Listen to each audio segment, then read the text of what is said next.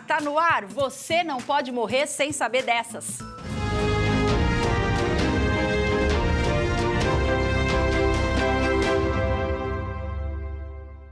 Boa tarde! Boa tarde! E tá Ei. começando mais um Você Não Pode Morrer Sem Saber. Muito bem. Com muitas coisas importantes aí pra Demais. acrescentar no seu dia a dia. Nossa, tudo verídico, viu? Verídico, exatamente. Ó, Ai, pra ai. começar, conheça o Parque Fling Kiss. A atração simboliza uma lenda chinesa, o amor de um príncipe e uma fada. Oh. Que fofinho. Inaugurada em 2020, trata-se de uma instalação que possui capacidade de atender 60 pessoas. Fica a mais de 50 metros de altura e é construída em um penhasco de mais de mil metros de altura. É, pra quem gosta de aventura. Pra quem gosta de aventura, Só é lá mesmo pra encontrar um príncipe, uma fada. Vamos ver Tem essa... foto? Essa estrutura. Eita! Que gigante! Meu Deus, agora que eu entendi a proporção do negócio. O tamanho. Ai, que legal! Olha! Ah! Ah! Roda! Ai, o vídeo tá acelerado, gente, mas ele não roda nessa velocidade. Ai, a cabinezinha Como roda! você sabe que tá tá acelerado? Porque eu participei da edição desse vídeo. Ah, então tá. Mas ele roda bem mais devagar? É Bem mais devagarzinho, é lentinho. Aí eles se encontram lá em cima e dão um beijo, ó. ó, ó, Ai, não ó. acredito. A bitoquinha do príncipe cafada. Enquanto você tá ali, ó, nesses... Ah, meu Deus! Na Áustria, uma vila tem chamado a atenção. No inverno, o local lembra o cenário do filme Frozen. Porém, parece que as autoridades do local, um vilarejo de 750 moradores, não ficaram muito felizes com o turismo. Por que será, né? Por isso, eles decidiram colocar uma barreira para impedir fotos e selfies. Conheça só o local e veja como ficou após a instalação dessas tapadeiras de madeira. Ai, gente, Nossa, vamos ver se eles têm razão. bloquearam, bloquearam, a entrada negócio. Da, do negócio. Ué, tem foto? Vamos ver. Ai, Cadê? que lindo! É Meu verdade, Deus! parece o castelo de Arindel da, da Nossa, Frozen. Olha que lugar maravilhoso! Gente. Olha que coisa linda. A neve é muito Ai, bonita, é lindo. né? Eu iria lá pra fotografar. Mas então. Olha, mas imagina o tanto de gente que não deve ir lá perturbar não, os né? moradores. É um vilarejo pequenininho, Ah, né? E daí cadê as tapadeiras? Tem as tapadeiras? É, que eu falei ali, ó. Veja como ficou a instalação das tapadeiras de madeira. Cadê? Tem aí, Doug? Ah, Ah, lá. Colocaram as tapadeiras Ué, para o mas- pessoal não tirar foto, nem Ah, selfie. mas se for ali onde Ai, que que tá mulher ali, não vê? Mas é instalar em tudo, foram instalando em tudo as Ah. tapadeiras de madeira para o pessoal não tirar foto nem selfie. Ah, gente. Ah, pra quê, né?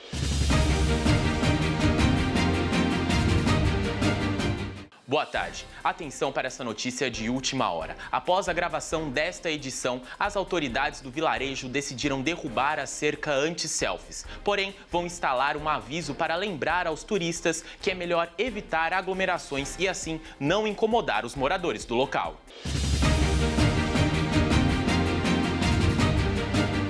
E uma obra de arte vendida por 120 mil dólares foi comida em um museu. Meu Deus, comer uma obra de arte de 120 mil. Você vai ver qual era a obra. Trata-se da obra Comedian, do italiano Catelan. O jovem que comeu a obra afirmou que estava com fome. Depois de comer, o jovem a colocou no expositor, ou seja, na parede. Ah, não, Gente, dá rapaz. uma olhada na obra. Sim, sim, sim. Ah, não, era uma banana. Detalhe, a segunda fez que. Ah, é a segunda vez que alguém come uma fruta exposta. A banana, que é trocada a cada dois ou três dias, não está à venda. Em 1938, durante uma guerra, um soldado levou um tiro na cabeça. Depois de ficar alguns dias hospitalizados, ele acordou e começou a enxergar a enxergar tudo ao ele tá falando, contrário. igual o outro agora. Ele Tudo ao contrário. O toque e a audição também ficaram prejudicados. Exemplo, ele via homens trabalhando de cabeça para baixo em um andaime. Após sofrer com dores por três dias, um homem colombiano decidiu procurar ajuda médica. Após fazer um raio-x, os médicos observaram que tinha um objeto inusitado alojado em seu ânus. Putz. Ah. Era uma lâmpada. Caraca!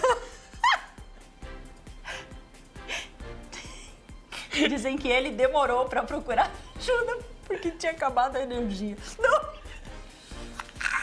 Porque... Porque ele tava com medo da esposa. Sabe qual era o apelido dele? Não. Vagalume. Ah! Ele era conhecido na comunidade como Vagalume. Aí a hora que ele foi pro hospital, sabe o que aconteceu? É. Ele deu a luz.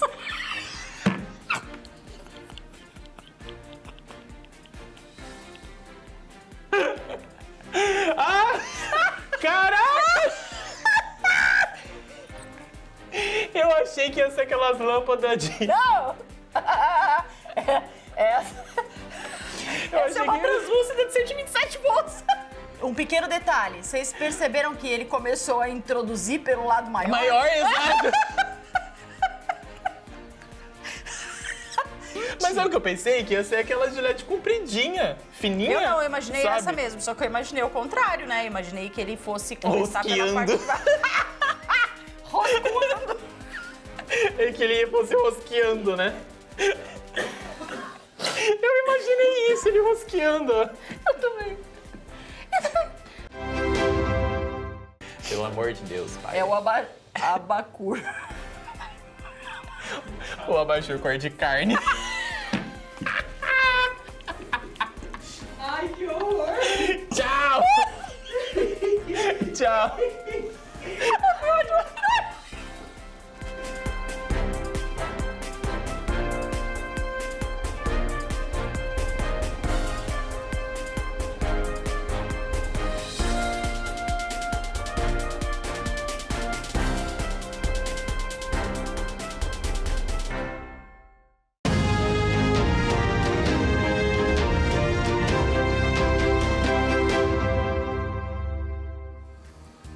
Perdão por isso, senhoras e senhores, mas a gente não aguentou esse dia. A gente ficou rindo a tarde inteira por conta dessa última notícia. E se você quiser enviar para os seus amigos darem risada também, junto com você, eu vou colocar lá no meu Instagram, arroba Mira. O Rodrigo também vai pôr o Rodrigo Vasconcelos. Segue a gente lá, tá bom?